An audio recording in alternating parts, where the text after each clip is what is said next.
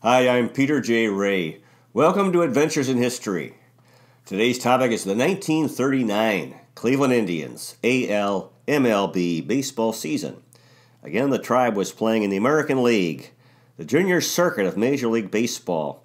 And uh, home games during the week were generally played at League Park. And then on weekends, and on especially Sundays and holidays, home games were played at Cleveland Municipal Stadium. Tribe had a strong year in 1939. They finished in third place with a record of 87 and 67, 20 games over 500. Very good.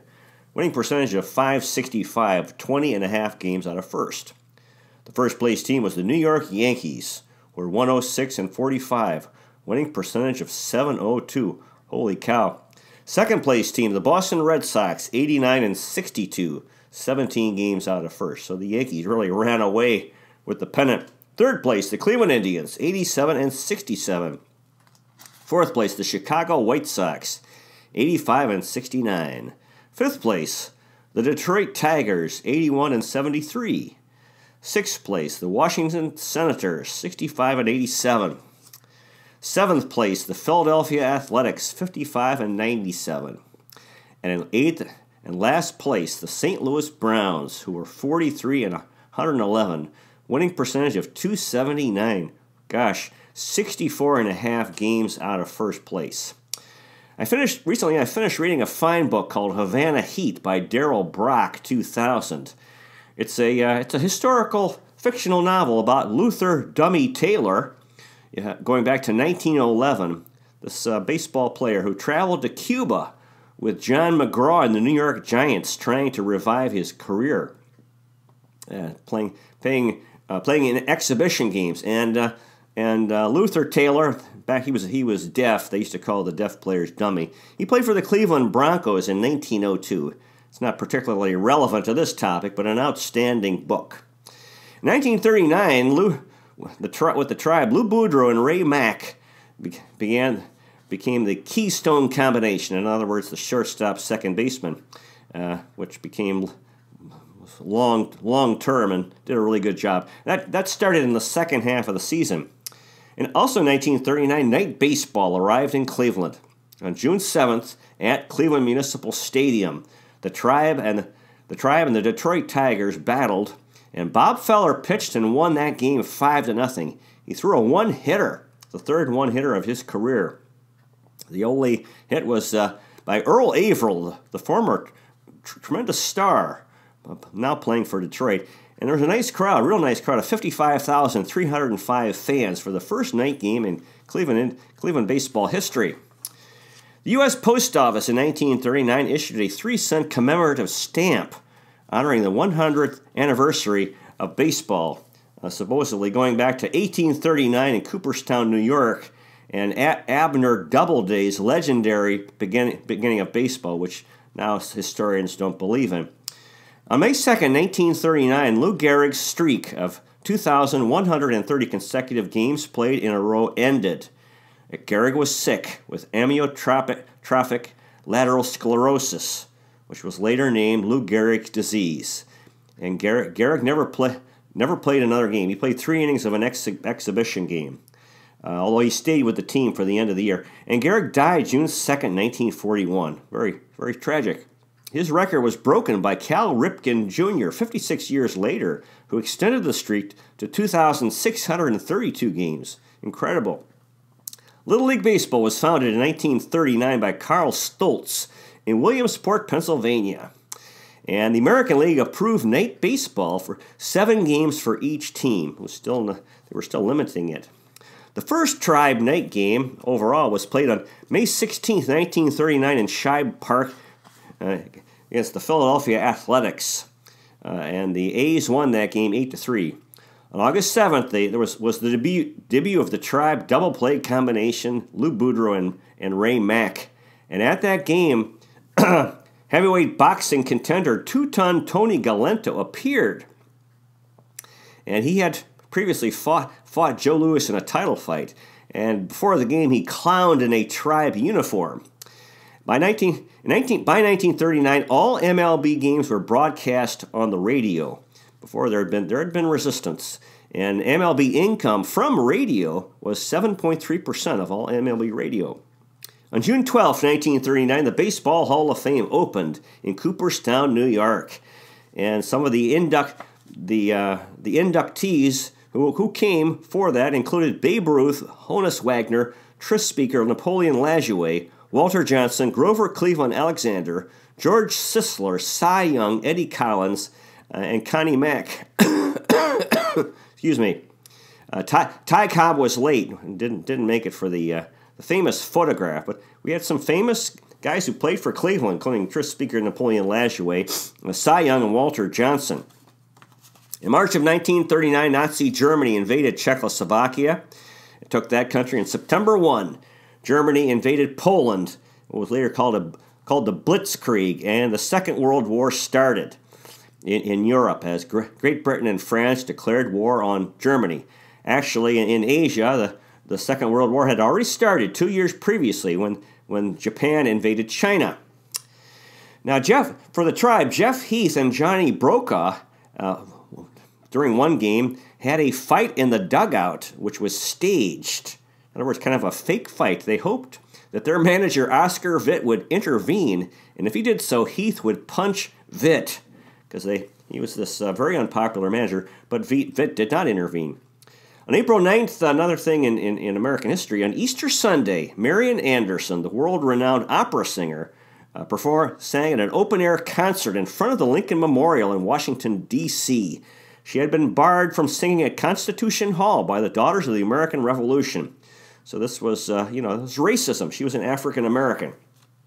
So this was really sort of, you would say, we're headed toward uh, the civil rights movement, equal rights for African Americans. Now there, there were tremendous movie, tre- tremendous movies in 1939. Gone with the Wind was one of them, you know, and another, The Wizard of Oz, and the, the third, The Grapes of Wrath.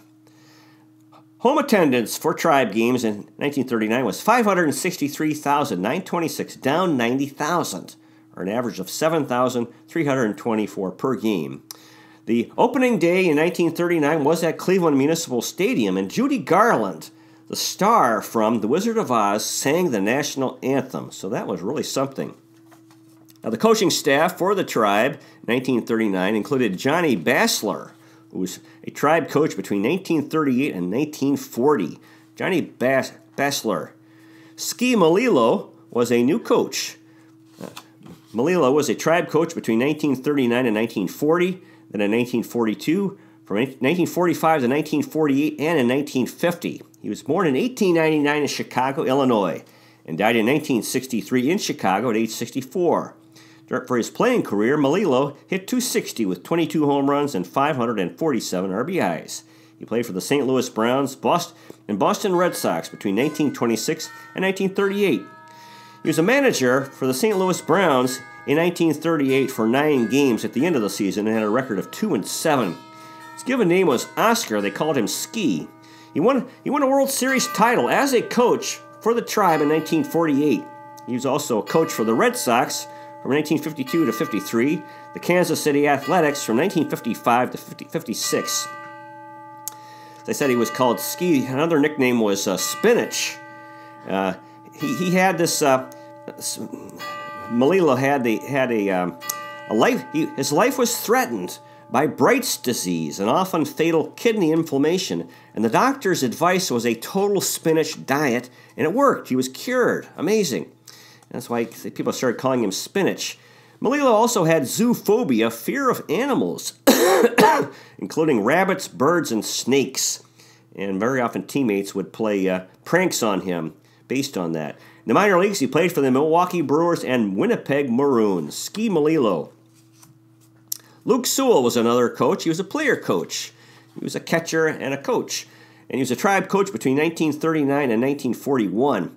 Uh, Sewell batted, batted 150. He had three hits, scored a run, had a double, an RBI, and walked in 16 games. And Sewell had been a player for the tribe between 1921 and 1932. So he was back again in 1939, playing again and coaching. Luke Sewell. Again, the manager for the tribe in 1939 was Ossie Vitt.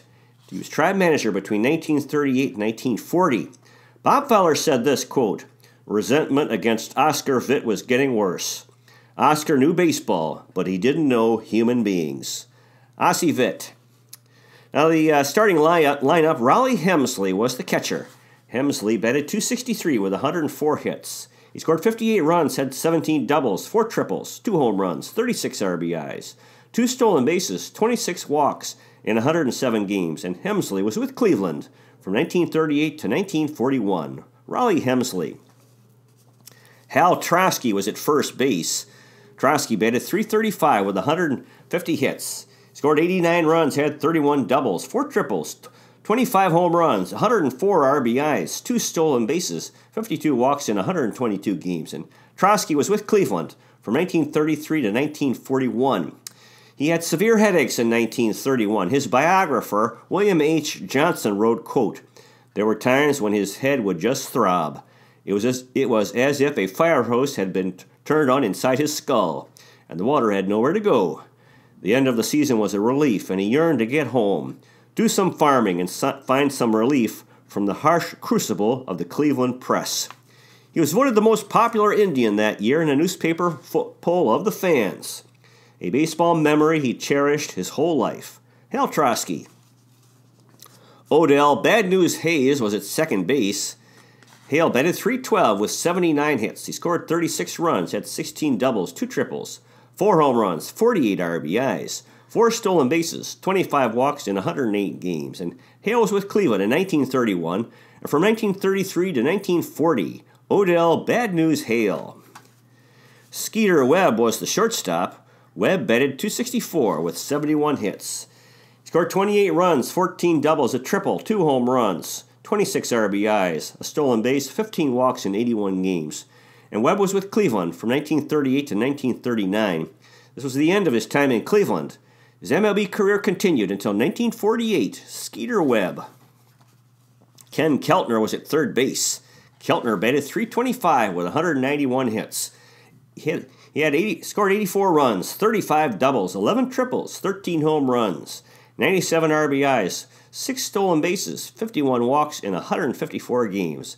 And Keltner was with Cleveland from 1937 to 1944 and from 1946 to 1949. Ken Keltner. Jeff Heath was in left field. Heath batted 292 with 126 hits. Scored 64 runs, had 31 doubles, 7 triples, 14 home runs. 69 RBIs, 8 stolen bases, 41 walks in 121 games, and Heath was with Cleveland from 1936 to 1945. On August 27th, Heath was ejected from a game at League Park. He, he, he threw a bat. Yeah, he threw a bat after striking out. The next day, Heath popped out on a three-out 0 count in the ninth inning, and a drunken fan near the dugout yelled, "Why don't you throw your bat again?" Heath walked over and punched the man in the chest. However, the umpire and Oscar, manager Oscar Vitt did not see it, so there, he was not punished. Ted Williams, uh, Ted Williams was a rookie in 1939, and he had in that same game he had a three-run home run uh, to def- help the Red Sox beat Cleveland six to five. Jeff Heath, Ben Chapman was in center field. Chapman batted 290 with 158 hits. Scored 101 runs, 31 doubles, 9 triples, 6 home runs, 82 RBIs, 18 stolen bases, 87 walks in 149 games. Chapman was born in 1908 in Nashville, Tennessee, and died in 1993 in Hoover, Alabama, at age 84. For his career, he batted 302 with 90 home runs and 977 RBIs. He's also a manager, and he won 196 games as a manager, lost 276 for a winning percentage of 415.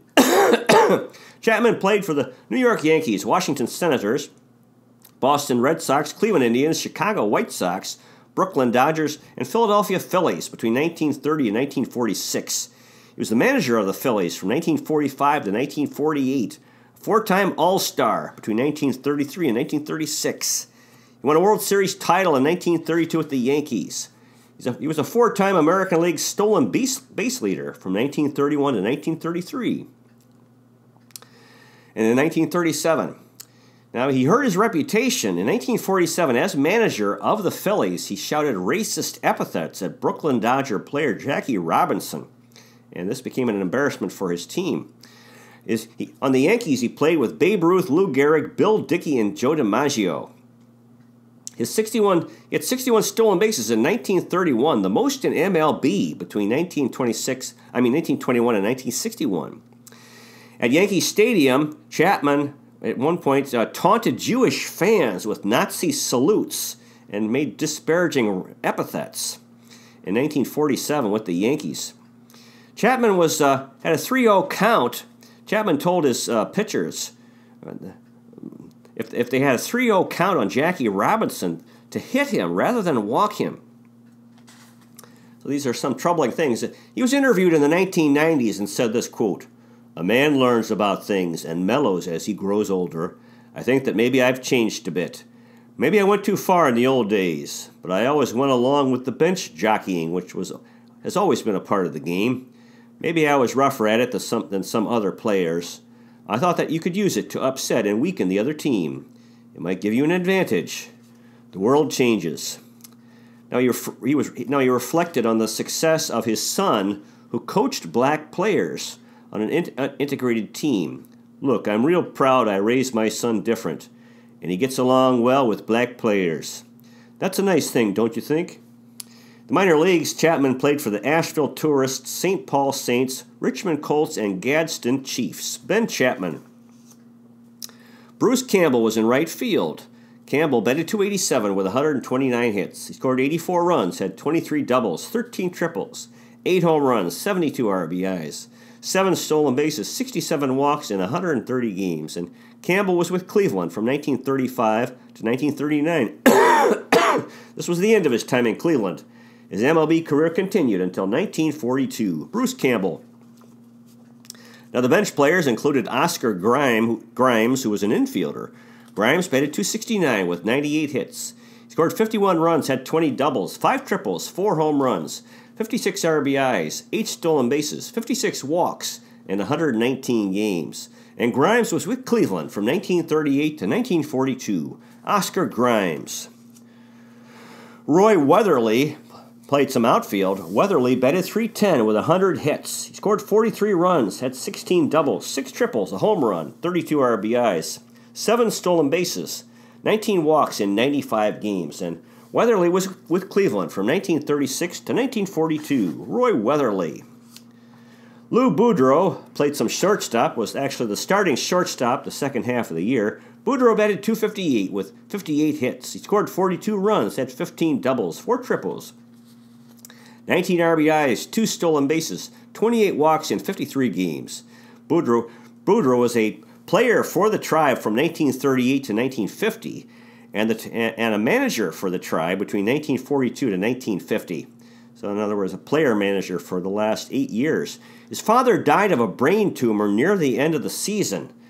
And then he had his one last visit with his father, and he's, Boudreau said, quote, He told me how proud he was that he had that he had fulfilled the dreams he had for me when we played our special game of grounders in the schoolyard, and he'd tell me, Nice going, Lou, you broke another record. Lou Boudreau.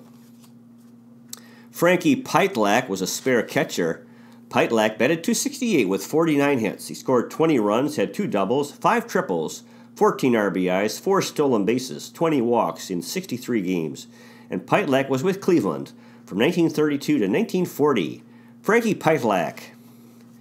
Ray Mack was this second baseman the second half of the year, near the end of the year. Mack batted 152 with 17 hits. He scored 12 runs, four doubles, a triple, a home run, six RBIs, 12 walks in 36 games. And Mack was with Cleveland from 1938 to 1946. Ray Mack. Moose Solters played some outfield. Solters batted 275 with 28 hits. He scored 19 runs, had seven doubles, two triples, two home runs, 19 RBIs, two stolen bases, nine walks in 41 games. Solters was with Cleveland from 1937 to 1939, so this was the end of his time in Cleveland. His MLB career continued until 1943. Moose Solters. Jim Shilling played some second base. Shilling batted 276 with 27 hits. He scored eight runs, had seven doubles, two triples, 12 RBIs, a stolen base, seven walks in 31 games. Shilling was born in 1914 in Tulsa, Oklahoma, and died in 1986 at age 72. His MLB he played his MLB career was with the Cleveland Indians and Philadelphia Phillies in 1939. And for his career, he batted 282 with 37 hits, 11 runs, 8 doubles, 5 triples, 16 RBIs, a stolen base, 8 walks in 42 games. Jim Shilling. Earl Averill was played some outfield. Averill batted 273 with 15 hits. He scored 8 runs, had 8 doubles, a home run, 7 RBIs, 6 walks in 24 games. Averill was with Cleveland from 1929 to 1939. This was the end of his time in Cleveland. He was traded. His MLB career continued until 1941. At the time, he was the tribe all time home run leader. Averill was traded on June 14th to Detroit for Harry Eisenstadt and Cat and cash. He's in the Tribe Hall of Fame and the Baseball Hall of Fame. Averill died in 1983, and the Cleveland Plain Dealer editorial wrote this quote: "The death of Baseball Hall of Famer Famer Famer Earl Averill brings back boyhood memories of Old League Park and the athletes who were our heroes. Earl Averill. Lyn Lary played some shortstop. Lary batted twice. He struck out once in three games. And Lary played for the Cle- played for Cleveland from 1937 to 1939, so this was the end of his time in Cleveland. His MLB career continued until 1940. Lyn Lary. Now the pitching staff was anchored by the ace pitcher Bob Feller, who was 24 and 9, 24 and 9 with an ERA of 2.85, 39 games, 35 starts, 24 complete games, 4 saves, 4 shutouts, a save, 296 and two thirds innings pitched, and 246 strikeouts. He led the league in, in victories, complete games, innings pitched, and strikeouts. Feller batted 212 with 21 hits. He scored 14 runs, had 5 doubles, a triple, seven RBIs, 14 walks, and struck out 35 times. Feller was with Cleveland from 1936 to 1941, and from 1946 to 1956, and was a Tribe Goodwill Ambassador till the end of his life. In 1939, Feller was the most dominant pitcher in MLB. As I said, leading the, the league in quite a few categories. He was also on the All Star team, which and the game was played at Yankee Stadium in New York City. Joe DiMaggio had a uh, home run. Bob Feller, Feller pitched three and a third innings and got the save for the American League victory of three to one.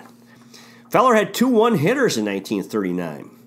On Mother's Day on May 14th, the Tribe and White Sox played in Chicago at Comiskey Park, and Feller's mother, father, and sister were all there. A foul ball hit Feller's mother in the face and knocked her unconscious. She was taken to the hospital, bruised but not seriously injured. The tribe won that game 9 to 4. Kind of ironic on Mother's Day. In 19, 1939, Feller would have won the Cy Young Award, but the, the award did not yet exist. Bob Feller. Al, Milnar was 14 and 12 with an ERA of 3.79. 37 games, 26 starts, 12 complete games, 2 shutouts, 3 saves, 209 innings pitched, and 76 strikeouts. Milnar batted 253 with 20 hits. He scored 11 runs, five doubles, six RBIs, five walks, 12 strikeouts in 41 games. And Milnar was with Cleveland in 1936 and from 1938 to 1943. Al Milnar. Mel Harder was 15 and 9 with an ERA of 3.50, 29 games, 26 starts, 12 complete games, a shutout, a save, 208 innings pitched, and 67 strikeouts. Harder batted 139 with 10 hits. He scored 8 runs, had a triple, a home run, 9 RBIs, 3 walks, and struck out 17 times. Harder was a, a player for the Tribe from 1928 to 1947 and a Tribe coach from 1948 to 1963. Mel Harder.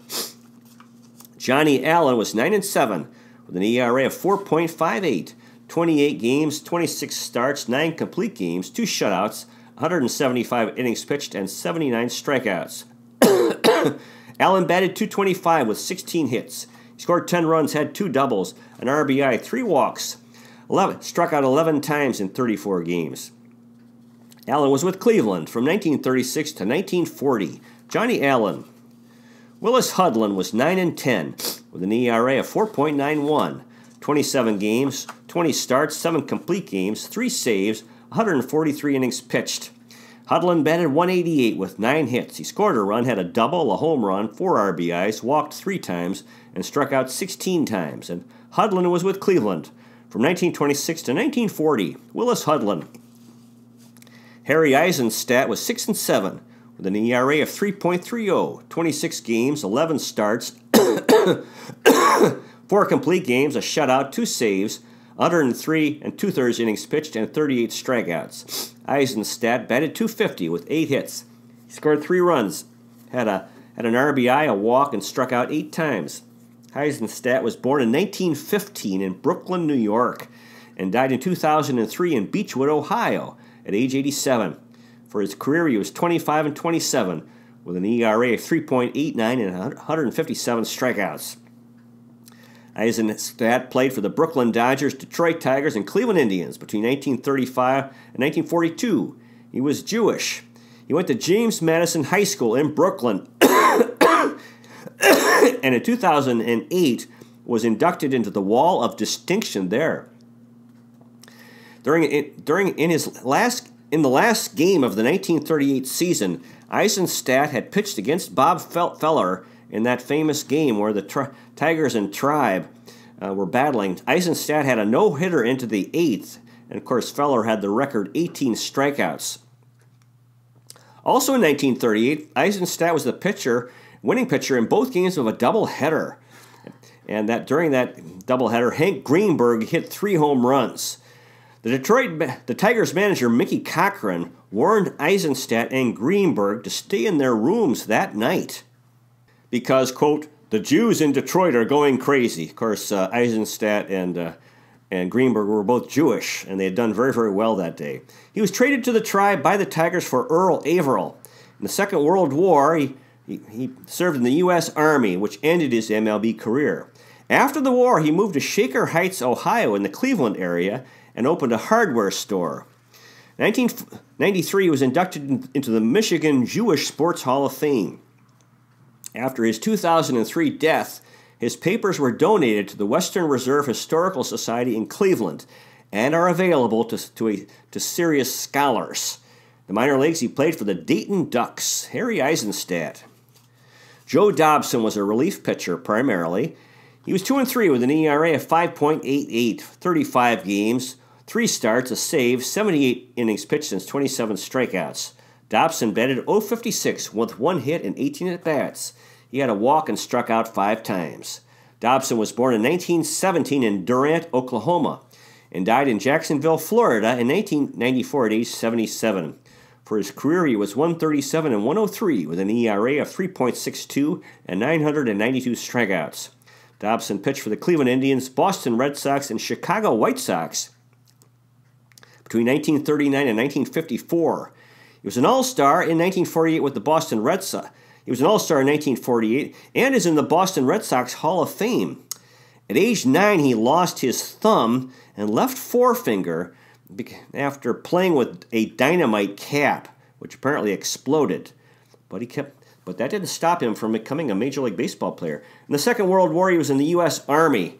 In minor leagues, he played for the New Orleans Pelicans and Troy Trojans and he was a Boston Red Sox coach in 1954. Joe Dobson. Johnny Broaca was 4 and 2 with an ERA of 4.70, 22 games, 2 starts, 46 innings pitched, and 13 strikeouts. Broaca batted 12 times, did not have a hit. He scored two runs, walked once, struck out six times. Broaca was born in 1909 in Lawrence, Massachusetts, and died in 1985 in Lawrence at age 75. For his career, he was 44 and 29 with an ERA of 4.08 and 258 strikeouts. Broaca pitched for the New York Yankees and Cleveland Indians between 1934 and 1939, so this was the end of his MLB career. He won a World Series title in 1936 with the Yankees. 1937, Broaca took a leave of absence for, from the Yankees for no apparent for no apparent reason, and and only pitched in seven games. He's Broaca was of Lithuanian descent. He went to Yale University and played baseball and played, played on the baseball, boxing, and track teams. He was a pro boxer but had no victories. After he retired, he was a co- common laborer on road construction crews and died in 1985, not having spoken with his son for the past 25 years, who only lived 25 miles away. Johnny Broaca. Bill Zuber was 2 0 with an ERA of 5.97, 16 games, 1 start, 31 and 2 thirds innings pitched, and 16 strikeouts. Zuber batted 200 with 1 hit and 5 at bats. He had a triple and struck out twice. Zuber pitched for Cleveland from 1936 to 1940. Bill Zuber. Johnny Humphries was 2 and 4 with an ERA of 8.26. 15 games, a start, two saves, 28 and, and a third innings pitched, and 12 strikeouts. Humphries batted seven times, did not have a hit, walked once, and struck out five times. And Humphries was with Cleveland from 1938 to 1940. Johnny Humphries.